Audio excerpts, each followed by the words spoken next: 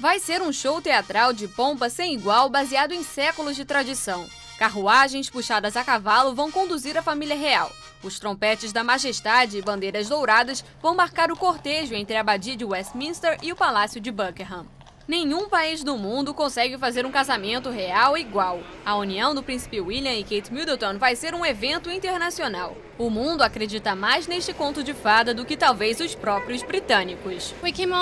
Fizemos um longo caminho especialmente para o casamento. O evento entrará para a história e desejo estar aqui para ver.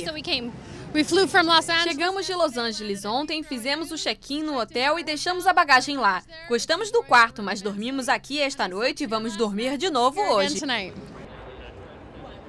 A monarquia tentou fazer tudo certo. Meses de planos e incansáveis ensaios. Tudo para assegurar um dia de esplendor sem erros. Mesmo que a cerimônia relembre o passado, a família real sabe que o seu futuro depende do sucesso da união e da popularidade do jovem casal. Kate e William parecem ter uma relação mais íntima do que Charles e Diana, o que muitos olham como sinal de promessa de felicidade. É o maior evento da mídia este ano, porque é uma festa feliz. Tudo até agora foi uma tragédia atrás da outra, com guerras e terremotos. Por isso, todo mundo se interessa tanto. Também por o casal ser querido pelo público e pela mídia.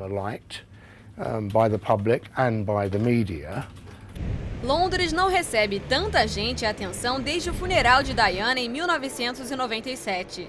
Enfim, a família real parece poder respirar aliviada após um longo período de problemas.